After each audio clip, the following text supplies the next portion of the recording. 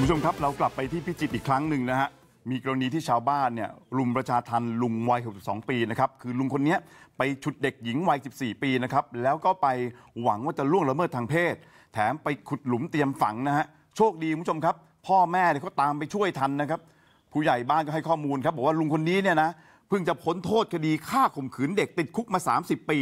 แต่ออกมาเนี่ยพยายามก่อเหตุซ้ำคุณผู้ชมครับลงไปดูหน่อยนะฮะ คือเหตุทั้งหมดคุณผู้ชมครับเกิดขึ้นที่ป่าระเมาะนะครับที่หลังวัดยี่มุยนะครับที่ตำบลท่าเสานะฮะที่โพทะเลพิจิตรมีคนร้ายครับชื่อนายสมบัตินะฮะอายุ 62 ปี ไปชุดเด็กหญิงคนหนึ่งครับอายุ 14 ปีนะฮะเพื่อที่จะไปล่วงละเมิดทางเพศ แต่ว่าพ่อของเด็กเนี่ยเขาตามไปช่วยเหลือทันครับแล้วเด็กปลอดภัย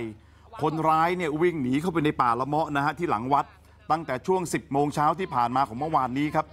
ทั้งนี้นะฮะผู้ใหญ่บ้านหมู่3ตำบลท่าเสา ก็ให้ข้อมูลกับทางกู้ภัย บอกว่าคนก่อเหตุเนี่ยเพิ่งจะพ้นโทษคดีฆ่าข่มขืนเด็กมา แล้วลุงคนนี้ติดคุกมาแล้วเนี่ยนะฮะสาปีครับคุณผู้ชมครับ ขณะเดียวกันนะฮะพบว่าจุดที่คนร้ายเนี่ยนำตัวเด็กหญิงไปเนี่ยนะฮะคนร้ายเนี่ยไปขุดหลุมขนาดใหญ่เอาไว้ด้วยเขาเชื่อกันเหลือเกินนะครับว่าหลุมนี้เนี่ยน่าจะนี่ฮะคุณผู้ชมครับหลุมนี้ครับ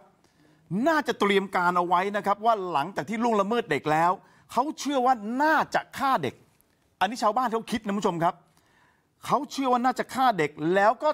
ทิ้งในหลุมนี้แหละฮะคุณผู้ชมครับ นี่ฮะคือตอนนี้เนี่ยชาวบ้านในพื้นที่เห็นพ้องต้องกันนะครับว่าควรจะต้องตามจับตัวคนร้ายรายนี้ให้ได้โดยเร็ว เพื่อป้องกันนะครับไม่ให้ชายคนนี้เนี่ยไปก่อเหตุซ้ำชาวบ้านกู้ภัยในพื้นที่รวมไปถึงตำรวจสพโพทะเลครับก็รวมตัวกันฮะแล้วก็ลุยป่าหลังวัดยี่มุ้ยปิดล้อมพื้นที่เร่งตามหานายสมบัติตลอดทั้งวันนะครับ พร้อมกับประสานรถแบ็คโฮครับให้มาขุดป่าละเมาะ หวังว่าจะกดดันให้นายสมบัตินั้นออกจากที่ซ่อนนะฮะ สุดท้ายท่านผู้ชมครับถึงช่วงค่ำที่ผ่านมาก็ยังไม่เจอตัวนะฮะ แต่ว่าทีมค้นหานี่ก็ไม่ลดละแล้วครับ ยิ่งดึกยิ่งมีชาวบ้านเนี่ยมาช่วยกันหาเพิ่มมากขึ้น พร้อมกับมีมาตรการกดดันคนร้ายนะครับ โดยมีการจุดไฟในป่าละเมาะ สุดท้ายคุณผู้ชมครับ หาตัวในสมบัติจนเจอ เพราะชาวบ้านเขามาช่วยกันครับ มีชาวบ้านบางคนทนไม่ไหวนะฮะคุณผู้ชมครับ เข้าไปเนี่ยจะกระทืบในสมบัติเลยนะฮะ ลองดูภาพนี้หน่อยครับ มีไหมมีไหม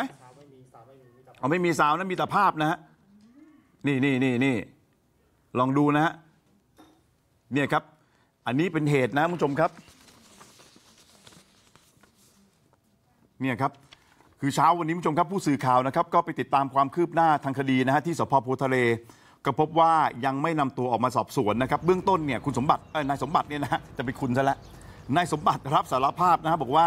ตั้งใจก่อเหตุล่วงละเมิดทางเพศเด็กหญิงจริง ๆ นะครับ แล้วตัวเขาเองเนี่ยแหละฮะเป็นคนขุดหลุมดังกล่าวจริง แต่บอกผมไม่ได้ต้องการจะเตรียมไว้ฝังเด็กนะ แต่ที่ขุดเอาไว้เนี่ยผมขุดดักตัวเงินตัวทอง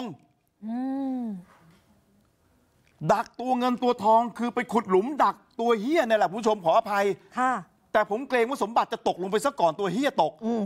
เนี่ยนะฮะขณะเดียวกันครับตำรวจก็เช็คประวัติสมบัติครับ ไม่พบประวัติว่ามีคดีอาชญากรรม ค่ะอืมก็จะไม่ตรงกับที่ชาวบ้านไม่ตรงบอกที่ชาวบ้านบอก ค่ะเนี่ยฮะเบื้องต้นครับตำรวจแจ้งข้อหาแล้วนะครับข่มขืนกระทำชำเราหญิงอื่น ซึ่งไม่ใช่ภรรยาตน โดยใช้กำลังประทุษร้ายนี่ฮะนี่คือสมบัตินะคุณผู้ชมครับ อายุเนี่ยหกสิบสองปีแล้วนะฮะแต่ยอมรับครับว่าจับเด็กไปจริง แล้วหวังจะล่วงละเมิดจริง ๆ นะฮะหกสิบสองเด็กหญิงวัย14ปีไอ้นี่เรียกตันหากลับหรือเปล่าอ่าใช่ไหมที่เขาค่ะเรียกไอ้เท่าตันหากลับนี่ไหมค่ะอย่างนี้ใช่ไหมอย่างนี้ค่ะโชคดีนะคะ ที่คุณพ่อตามไปช่วยทัน แล้วก็ได้เห็นพลังของคนในชุมชนนะคะ ไปช่วยกันโดยมีเป้าหมายที่จะต้องตามจับสมบัติให้ได้ ครับ แม้ว่าจะดึกดื่นก็ตามจับ แล้วสุดท้ายได้จริง ๆ ด้วยอื